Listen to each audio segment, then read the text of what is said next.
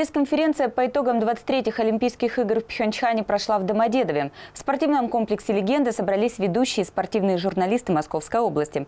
Также в обсуждениях приняли участие Виктор Гусев, Дмитрий Губерниев, Вячеслав Фетисов и другие.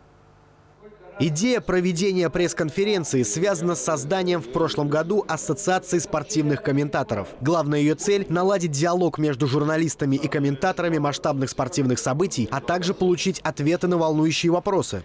Так вот, на мой взгляд, очень важно было принято решение, что ехать надо. И еще более важно то, что это решение отдали на откуп спортсменам. Вот как вы решите, так и будет.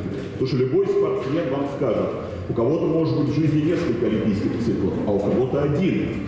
Поэтому нужно им пользоваться.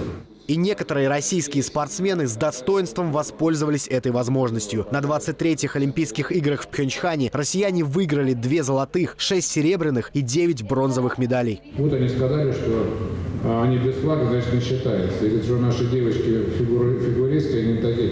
И мы начинаем этому мусорить, вместо того, сказать, слушайте, это наши герои, это наши дети, это наше будущее. Ну и все, что с этим связано. Поэтому еще раз благодарен Э, тому, что произошло в хоккее. Мы на этом будем строить идеологию. Также на пресс-конференции обсудили предстоящий чемпионат мира по футболу, который пройдет в России. Известно, что в Московской области будет расположено 17 баз для спортсменов. Наш регион выбрали одни из сильных стран-соперников – Аргентина, Португалия, Бельгия и Франция. Даниил Михайлов, Мария Антонова, телеканал ЛРТ.